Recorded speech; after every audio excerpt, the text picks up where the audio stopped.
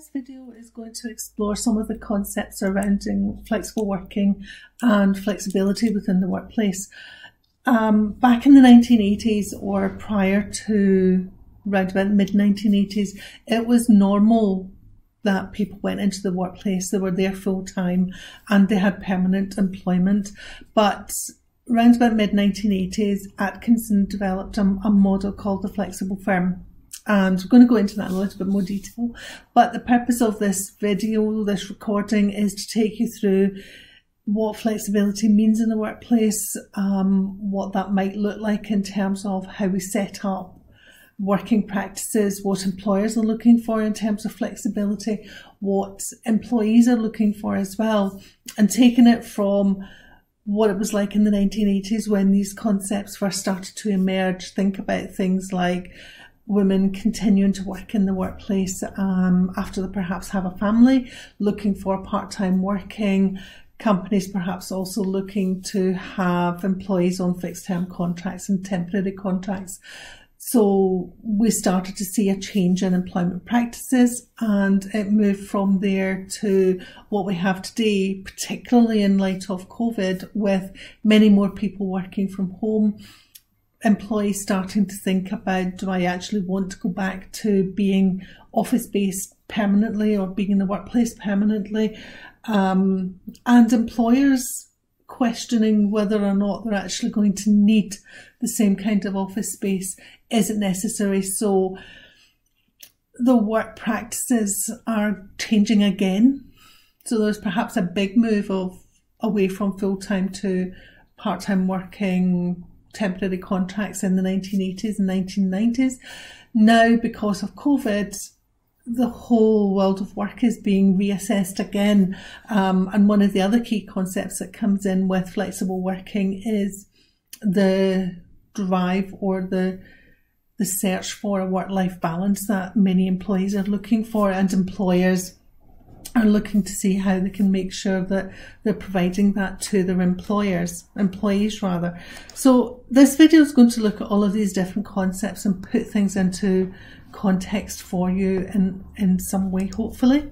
So overall, this video is going to look at an idea of what is flexibility, looking at different types of contract types, look at the psychological contract and its relationship with flexibility and the impact that flexibility or the offering of flexibility or the creation of a flexible working environment, the impact that can have on the psychological contract, whether that's positive or negative. And also linked to that, thinking about how um, flexible working and flexible work practices can impact on performance within the organization because obviously from a company's point of view you're wanting to introduce flexible working practices to enhance productivity to improve efficiency so that you don't have people sitting about when there's not actually any work for them to do. So you're trying to do things as efficiently as possible. So you're looking to improve performance. But if employees feel that they're being badly treated, that will also impact on performance and productivity. So companies have to think about these things. So we'll finish off the video by looking at that in a little bit of detail as well.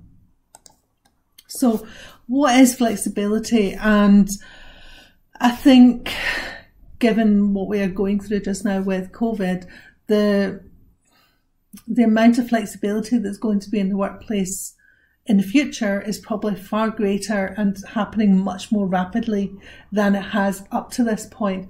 There were moves to more agile working, hot desking, more and more people working remotely, working from home, rather than being at a desk in a workplace Monday to Friday or whatever contracted hours that you're supposed to be at work. Um, so even before COVID hit, that increase was starting to happen. Um, but flexible working can mean all sorts of different things. It can mean how we work, where we work, um, how we determine how much control we have over our jobs, how we determine what to do, when to do it. But it's also from a company's point of view or an employer's point of view, it can be down to the type of contracts that you employ people under. So permanent full time contracts, but equally you could have people on fixed term contracts, temporary contracts. You could be employing agency workers. You could be employing people on zero hours contracts. Um, another fairly recent evolution in terms of employment practices would be the gig economy. So all of these different ways of working, different ways of employing people. Um, but even just thinking about if you've got someone who is employed for a set number of hours, whether that's full time or part time, you can have condensed hours, you can have term time hours, all sorts of different ways that you actually structure how the work is done and how things are managed to control having people in the workplace when you need them, having not paying wages when you don't have to, but that you have a pool of employees that you can pull in if you need to get more work done more quickly. So flexibility is all of these different things. It's about management being able to manage the employees, the workers within the organisation so that they're able to maximise efficiency, maximize productivity. But for the employee, it's also about them being able to work in a pattern that suits them. We're always told that or given the impression that zero hours contracts, the gig economy are bad things, that employees are um, manipulated, that they're abused and they're badly treated by employers. And yes, there are some uh, employers out there that will abuse the systems, but there are also some employees who are working under these contracts that that's actually what they want. They're looking for that flexibility. They're looking for the fact that they don't have to give a commitment to going into work for 35 hours a week every single week. They can pick and choose when they want to work. So that flexibility is key for the employer and for the employee. So from there, as I said at the beginning, um, mid 1980s, Atkinson designed what you see in front of you as a flexible firm. And I am going to make another video that will go into the flexible firm in much more detail. But what I really wanted to talk about here was the idea that um, Atkinson realised that for companies to be efficient and to be able to manage the workforce as efficiently as possible, you don't just want key core workers that are your most highly skilled, the ones that you don't want to lose. They're the ones that are doing the fundamental business of the organisation. So they're your frontline staff. And you want to keep them on board. You want to keep them motivated, engaged and working. So you're more likely to give them better working conditions. You're more likely to pay them much more effectively. But surrounding that, you have almost like a support network of periphery workers who are important to the organisation, but um, they're the ones that if you need to make cutbacks, they're the ones that are going to get their hours cut, or they could be temporary workers, they could be working for agency staff. So that's where your flexibility is coming from. So atypical working contracts, really what I'm meaning is contracts that are not your standard nine to five, Monday to Friday type contracts. So part time working, job share, these are fairly commonly understood contracts, but we also have things like um, zero hours contracts, the gig economy that I talked about before. You'll have people working term time, condensed hours, and all sorts of other things that um, will be adapted and tailored to the needs of individual companies. Um, also, as I said before, the idea of people working from home, um, working remotely, if you do go into an office that is hot desking, so you don't have a dedicated workspace because you're not actually going to be um, in the workplace that much. So, in the flexible working environment, you're talking about lots of different contracts to meet the needs of the business, but there is also an argument that by offering a much wider range of employment contracts and employment engagement conditions for workers, you're going to capture a much larger audience because you're going to cater for the needs of more diverse people, lots of different needs, lots of different environments, people coming from all sorts of different backgrounds. So you're giving them the flexibility, whereas before, perhaps if you were only offering a permanent full-time contract, you would not be able to employ people who perhaps have caring responsibilities and want to work at different hours or want to stagger their hours or don't want to work full time. So by doing this, you're giving yourself much more flexibility in terms of how you employ your staff, but it also means that potentially you're going to be able to deliver a better service to your customers as well. So moving on from that, the psychological contract.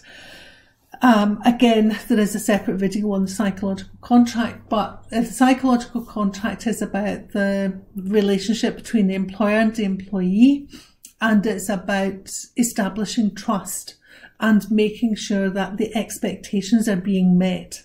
So if you are forcing employees into atypical working, contracts that they're not happy with, that they're they don't really want, but they feel forced to take, they're not going to be as engaged. They're not going to be committed.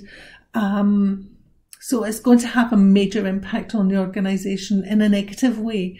But if you are listening to the employees and the flexibility that is being offered meets the needs of those employees, then the theory suggests that those employees are more likely to buy into the company.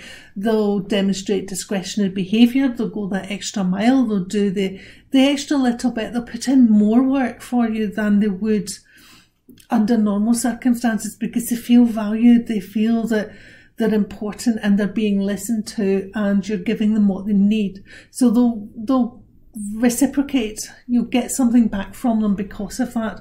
So the psychological contract in that situation, you will have a happy employee, which means more productivity, more profit for the organisation as well, or better services, happier customers as well. So the psychological contract is really, really important. And that does link in, as I said, um, with productivity as well. And the final slide, which we'll go on to shortly, is looking at high performance working.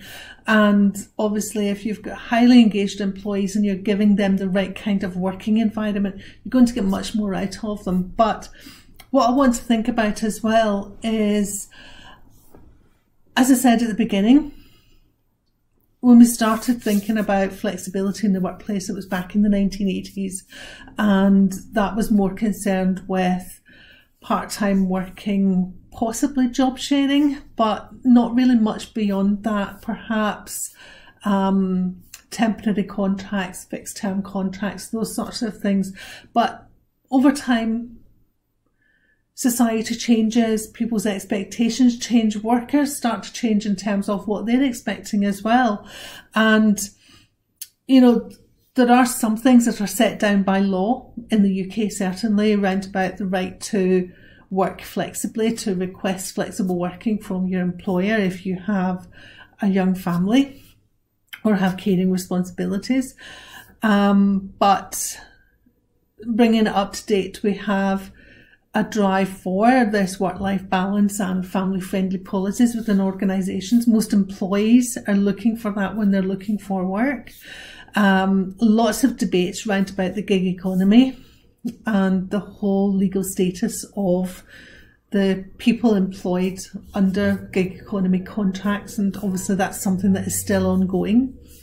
Um, worker intensification is the idea of, as I kind of highlighted already when I was talking about the psychological contract, if you have employees that are putting in more effort because they they want to, they're driven to do that, they're motivated to do that, um, you also have to be careful that you don't end up with employees being burned out because they're, they're putting in too much effort and they're not switching off. So their work life balance is actually suffering because they want to put in that extra effort because of the the commitment that the company has shown them by giving them flexible working arrangements or whatever it is. So sometimes what, what we find is that workers will actually feel compelled to work harder. Sometimes it can be that compulsion that's coming internally from the employees. But sometimes it can also be that someone, although they've gone from working five days a week to working three days a week, for example, feel that they still have to do five days worth of work in those three days. So they'll end up working overtime or putting in ex- extra time. So worker intensive, work intensification is something we have to be really careful about.